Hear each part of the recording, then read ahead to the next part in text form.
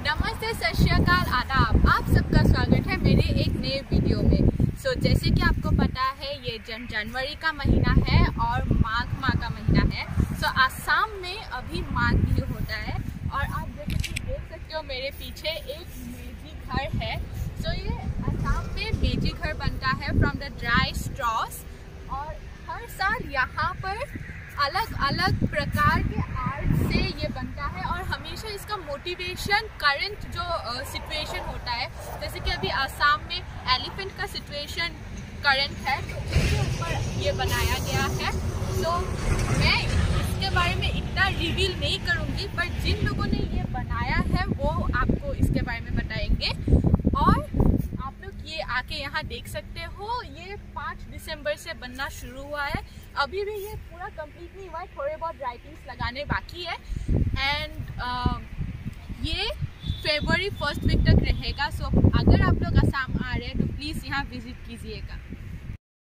सो so, अगर आप आसाम आ रहे हैं और अगर आप जागी रोड या जुराबाद साइड से आ रहे हैं तो आप लोगों को ये आमोनी खाली में ये देखने को मिल जाएगा और ये आपको फरवरी फर्स्ट वीक तक मिलेगा तो आ, अगर आएंगे तो इसे देख के जरूर जाइएगा और अगर इस साल नहीं हो पाया तो अगले साल जरूर आइएगा तो चलिए इसके बारे में और जानते हैं ৰেডি নমস্কাৰ মোৰ নাম হ'ল পুতুল দাস মোৰ মই মেইন গুৰুজনৰ নাম হ'ল ভগৱান সেনাপতি তেওঁ প্ৰতিভাতে প্ৰতি বছৰে আমি দুহেজাৰ এঘাৰ চনৰ পৰা এইবোৰ কৰি আহিছোঁ প্ৰতি বছৰে এটা এটা অৰ্থ লৈ পেলাই আমি ভেলাঘৰটো বনালেই নহ'ব এটা অৰ্থ থাকিব লাগিব মিনিং থাকিব লাগিব থাকিব লাগিব দেশৰ পৰিস্থিতি লৈ। আৰু এইটো যে আমি বনাইছোঁ এইটো যে বনাইছোঁ বনোৱা অৰ্থটো হ'ল মানে কি? আজিকালি পাহাৰ অঞ্চলত হাতী মানুহৰ সংঘাত হাতীৰ খাদ্য পাবলৈ নাই। আমি দুটা পাহাৰ টিলাৰ পৰা দুটা হাতী নামি আহিছে আহি বনাঞ্চলত দেখিছে মানে খাদ্য যোগান দিছে। এজনী মহিলা এজনী মহিলা আৰু এজনী এটা সৰু বাচ্ছাই কল কলগছ হৈছে কলগছ হৈছে হাতীকেইটাই দেখি তেওঁলোকক নমস্কাৰ দিছে। নমস্কাৰ দিছে অৰ্থটো হ'ল সেইটো। তাকে এইবিলাকে কৰি আমি মানে প্ৰতি বছৰে ভাল পাওঁ নেক্সট বছৰ কি কৰিম? এই বছৰ আমি এতিয়া চিন্তাধাৰা কৰি আছোঁ। হা। নেক্সট বছৰ কি কৰিম? এইবিলাকে আমি চিন্তা কৰোঁ। আৰু ভেলাঘৰটো একমাহ আজিলৈ একমাহ দহ দিন হৈছে আমাৰ। আমি নিজৰ ধন গাঁঠি ধন ভাঙি হ'লেও এইবিলাক কৰোঁ। এটা আগ্ৰহ আছে আমাৰ প্ৰতিভা আছে। অসমীয়া কলা কৃষ্টি জীয়াই ৰাখিবৰ কাৰণে আমি এইটো এইটো কৰি বহুত ভাল পাওঁ। ভৱিষ্যতলৈ জীয়াই থাকিলে আৰু কৰিম বুলি আশা কৰি ৰাখিছোঁ। এয়াকে কৈ মই মোৰ বক্তব্য সামৰিছোঁ। দেই। এঘাৰ বাৰ চনৰ পৰাই যেতিয়া ভূপেন দা ঢুকাইছিলে সেই বৰ্ষৰ পৰাই প্ৰতি বছৰে এটা বেলেগ বেলেগ বাৰ্তা দি আহিছোঁ অসমবাসী ৰাইজৰ বাবে। ভেলাঘৰৰ মাধ্যমেৰে।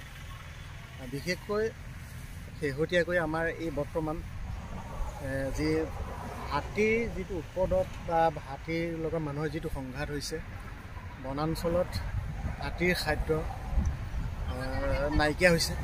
নোহোৱাৰ কাৰণে হাতী তেনেকৈ তললৈ মানে কি তললৈ নামি আহি মানুহৰ লগত সংঘাতত লিপ্ত হ'ব লগা হৈছে কেৱল খাদ্য সমস্যাটোৰ কাৰণে। গতিকে সেইটো এটা মোৰ মনলৈ আহিছে। বা ইয়াৰ আগৰ বৰ্ষতো মই যোৱাবাৰ কৰোণাক লৈ এটা মেছেজ দিছোঁ কৰোণা সজাগতাৰ কাৰণে। তাৰ আগৰ বছৰ দুবছৰ ঠিক কৰোণাৰ কাৰণে তাৰ আগত আছিলে গড় সুৰক্ষাৰ কাৰণে। প্ৰতি বছৰে এটা এটা ভেলাঘৰ ৰূপত এটা প্ৰতি বছৰে এটা এটা নতুন নতুন বাৰ্তা দি থকা হৈছে। ঠিক এইবাৰো ঠিক তেনেকৈ এটা মনলৈ আহিছে যে হাতীৰ যিটো খাদ্য সমস্যা সমস্যাটোৰ কাৰণে মানে জনসাধাৰণ মানে হাতী সংঘাতত মানে বলি হ'ব লগা হৈছে। হয়তো হাতী সংঘাতত মৃত্যুবৰণ কৰিছে নহয় মানুহ মৃত্যুবৰণ হৈছে। শেহতীয়াকৈ আমাৰ অহা সমষ্টিটো এতিয়া শ শ হাতী তেনেকৈ নামি আহিছে। তেনেকৈ মানুহৰ ঘৰ দুৱাৰ ভাঙিছে। গোটেই গোটেইবিলাক সমস্যাটো হ'ল খাদ্য সমস্যা। বা হয়তো থাকিবৰ ঠাই নাই মানুহে হয়তো বেদখল কৰিছে। সেইটো কাৰণে এটা মোৰ মনলৈ আহিলে যে বিশেষকৈ হাতীৰ সমস্যাটো যদি সমাধান হয় মইনো কি কৰিম? এটা মই এটা বাৰ্তা দিবহে চেষ্টা কৰিছোঁ। বা সজাগ কৰিবৰ কাৰণে বিচাৰিছোঁ। যাতে হাতী খাদ্যৰ প্ৰতি যাতে চৰকাৰে গুৰুত্ব দিয়ক অধিক।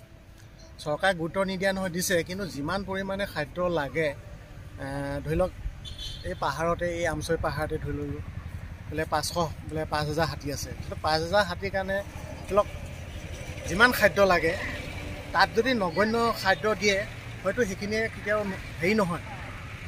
গতিকে তেনেকৈ সেই কাৰণত হয়তো থললৈ নামি আহে খাদ্য সন্ধানত আৰু মানুহৰ মানুহৰ লগত হতাহতি হয়। গতিকে মই ভাবোঁ এই ভেলাঘৰৰ মাধ্যমে এই বাৰ্তাটো দিব বিচাৰিছোঁ যাতে এই এগৰাকী মহিলা আৰু এটা শিশুৱে এডাল কলগছ ৰুই আছে আৰু দুটা দুইফালৰ পৰা দুটা হাতী আহি মাত্ৰ এটা আশীৰ্বাদ দিছে যে আমাৰ কাৰণে যে তোমালোকে ভাবিছা অন্ততঃ আমাৰ সমস্যাটোৰ কথা তোমালোকে ভাবিছা গতিকে তোমালোকক ধন্যবাদ। গতিকে ঠিক এটা মেছেজ দিবহে বিচাৰিছোঁ বা এটা বাৰ্তা দিব বিচাৰিছোঁ যাতে চৰকাৰে বা ৰাইজে এইটো এটা গুৰুত্ব দিয়ক হাতী সময় খাদ্য সমস্যাটোৰ কাৰণে থেংক ইউ আপোনালোকক চবকে মাঘ বিহুৰ হিয়া ভৰা শুভেচ্ছা জনালোঁ চ' happy Magh Bihu to everyone so today is Magh Bihu in Assam और आप पीछे देख सकते हैं यहाँ पर मेजी जल रहा है और आज मैंने ये ट्रेडिशनल मेखला सदर पहना है सो so, कल हमने लोरी जलाया था और आज हम लोग मेजी जो है वो जला रहे हैं। So this is the ending of the video जहाँ पर मैंने आप लोगों को uh, जो मेजी घर बनाया था या जो भेला घर बनाया था uh, जिस वीडियो में दिखाया था उसका ये एंडिंग है। सो so, आई होप आपको वीडियो अच्छा लगा होगा और इस वीडियो से हमें जानने को मिला कि ये इतने सालों से हो रहा है but we just keep on thinking that ये हो रहा है। हमें नहीं पता होता कि इसके पीछे थॉट प्रोसेस क्या होता है and how every time they come up with such nice ideas तो इस बार हमें पता चल गया कि uh, हर बार जो भी करंट अफेयर्स होता है वह कोई भी करंट सिचुएशन होता है उसके ऊपर ही uh, मेजी बनाते हैं वो लोग एंड वो सब अपने आप से करते हैं एंड जो आर्टिस्ट है जिन जिन्होंने वो बनाया है श्री भगवान सेनापति वो सब अपने आप बनाते हैं so it's a very good thing और उनके साथ जो है श्री पुतुल दास वो भी बहुत अच्छे से लाइक like, इतने सालों से जो ये ट्रेडिशन फॉलो करते आ रहे हैं वो बहुत ही अच्छा है और हम सबको ऐसे अपने ट्रेडिशंस फॉलो करते रहना चाहिए because if we do not keep our traditions preserved and who will right চ' আজিৰ কাৰণে এই ভিডিঅ'টো ইয়াতে এণ্ড কৰিলোঁ মই আকৌ এবাৰ ক'ব বিচাৰিছোঁ আপোনালোক চবকে মাঘ বিহুৰ শুভেচ্ছা জনালোঁ और यहाँ पर ये मेजी जल के ख़त्म हो जाएगा और अभी मैं भी अंदर जाऊँगी। And don't forget to like share subscribe to my channel bye bye and happy Bihu happy Pongal and happy Makar Sankranti bye bye